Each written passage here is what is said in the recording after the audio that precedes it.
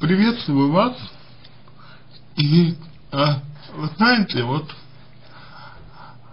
много вам уже порекомендовала э, экспертов, что делать, э, много вам дали рекомендаций. Вот. А, в принципе, мне больше всего а, понравилась рекомендация, рекомендация эксперта Лидии. Вот она очень подробно описала и добавить, в принципе, к ее э, рекомендации мало что возможно. Но, что я вам хочу сказать. Вот помимо э, тех вот э, советов, помимо тех рекомендаций, которые вам дали мои, мои коллеги, э, есть еще одна немаловажная э, деталь, на, которую, э, к, сожалению, э, мои коллеги внимания не обратили. Ну, по крайней мере, я не увидел этого в их сообщении.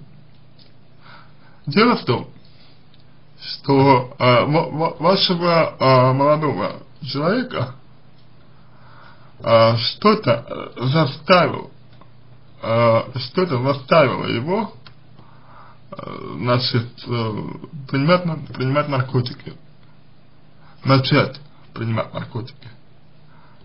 И вот э, вопрос основной, который э, вам нужно решить для себя, на, на мой взгляд, это вопрос, связанный именно с этим. Что именно за, заставило его принимать наркотики? Почему он э, начал это, это делать?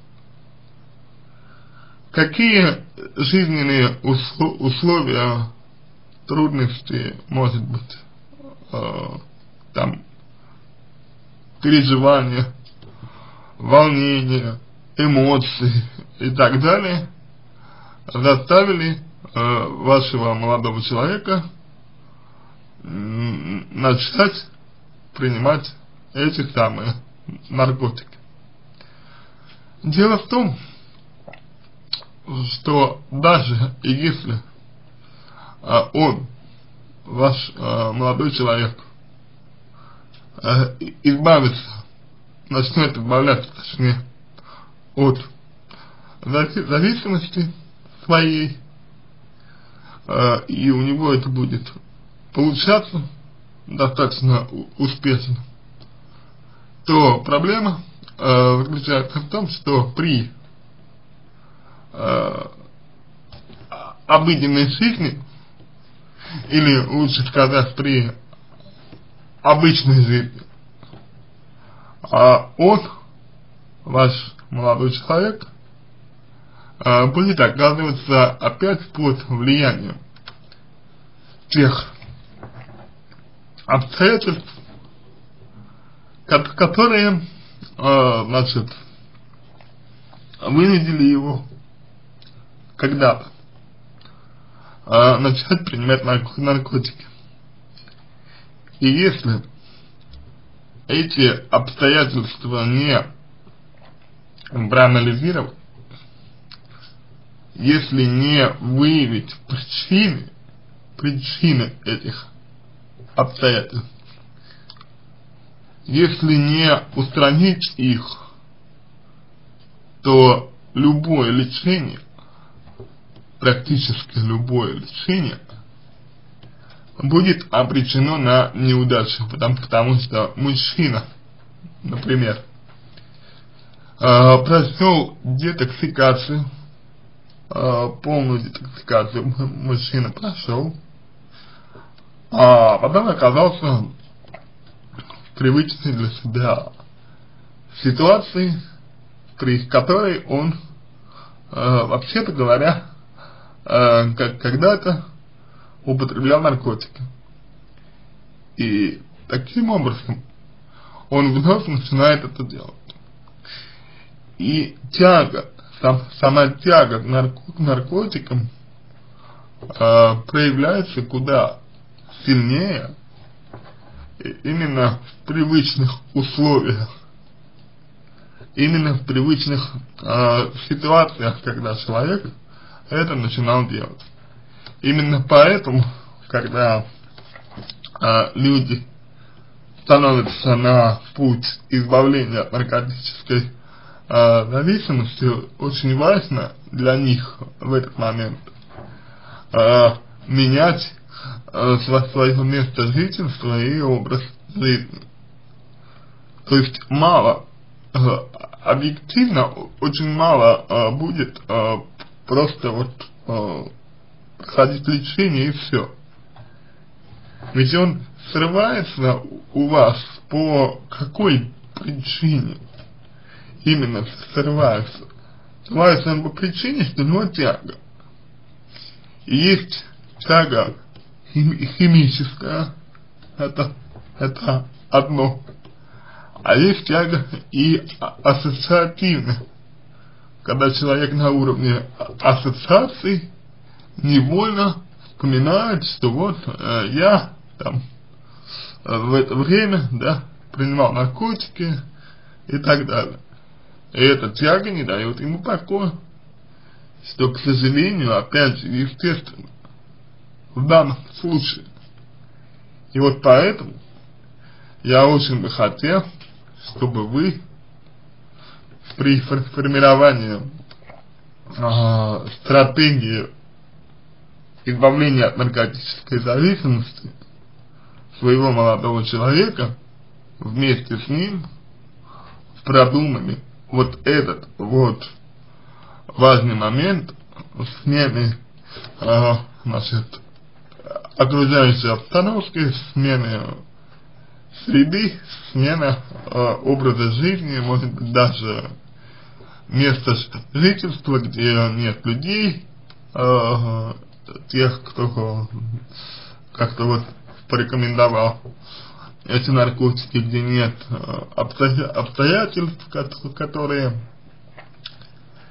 э, заставляют человека принимать эти наркотики, по его мнению, и где э, все новое, все новое, все по-новому воспринимается, и человек, по сути дела, лишен какой-либо возможности э, на уровне ассоциаций испытывать тягу э, к этим самым вот психотропным веществам.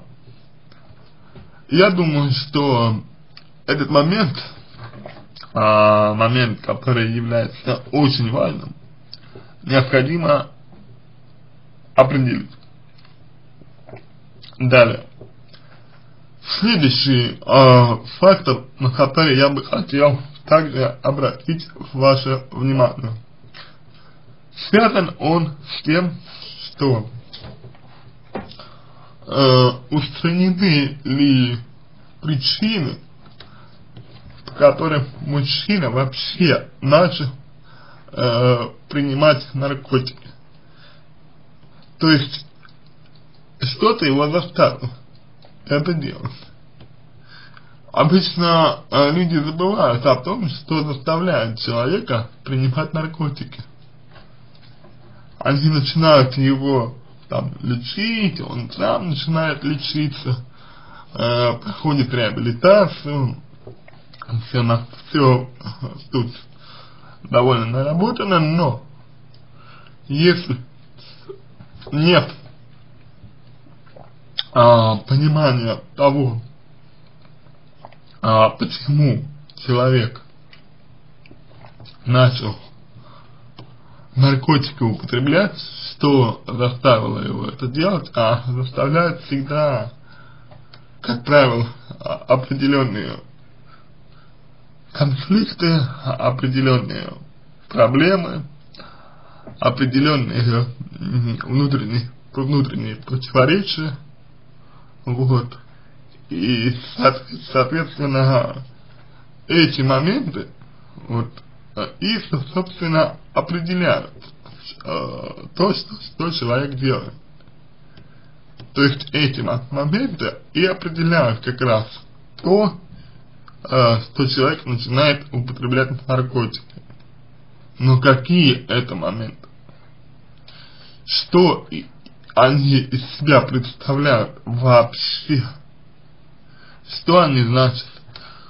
Какое значение эти моменты имеют э, для самого человека?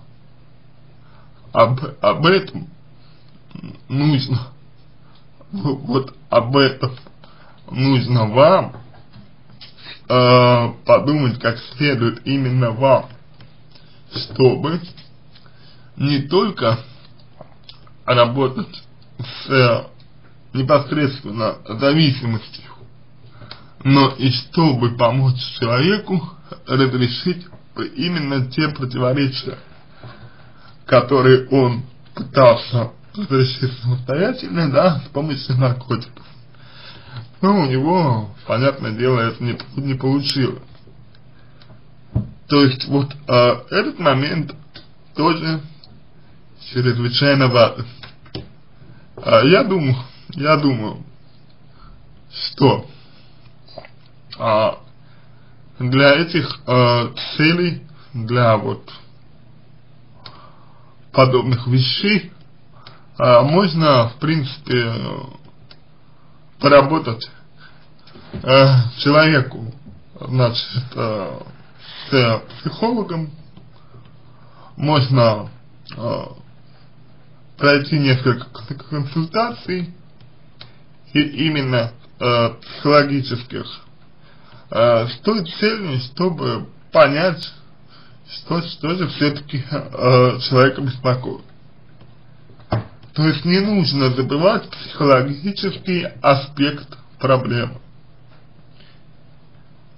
Ну и э, последний момент, который я хотел, хотел бы вам э, донести до вас. Этот момент заключается в том, готовы ли вы стать для своего молодого человека опор, опорой, надеждой и помощницей в том, что он делает. Потому что если нет, если вы не готовы вот э, это делать, если вы не готовы э, помогать своему мужчине, или если вы сомневаетесь в том, насколько вы вот можете для, для него это делать, то лучше вам бы его оставить на этом пути, потому что, в принципе, если человек будет э, сам его про проходить этот путь, то шансов у него будет больше, э, что вот у него получится, получится преодолеть эту, эту зависимость. Но если вы останетесь с ним, то человек будет на вас надеяться, человек будет на вас рассчитывать, и если вдруг вы устанете, если вдруг вы почувствуете, что живете, например, ну, допустим, а, не своей жизнью, что, что вы а, тратите свое время впустую и так далее, и так далее, если вдруг у вас подобные мысли будут, то это будет означать, что вы его бросите, а в данном случае э, бросить такого человека означает э, лишить его э, стимула быть лучше. Э, поэтому этот момент тоже вам нужно отдельно для себя разобрать и отдельно для себя подумать, готовы ли мы взять на себя такую ответственность. И осознаете ли вы, что при успешном решении этой проблемы значит, эм, вам не будет благодарности, скорее всего, и вы не получите какого-то вот э, купирования и вот так, можно так сказать, воздаяния, да, э, своей деятельности.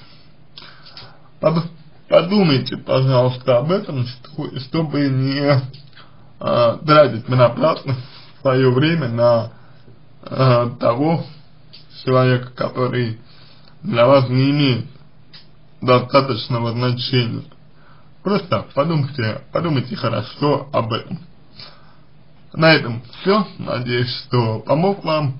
Если какие-то дополнительные вопросы у вас остались, буду рад помочь. Э, пишите в личку. Если вам понравился мой ответ, буду благодарен, если сделаете его лучшим. Желаю вам всего самого доброго и удачи.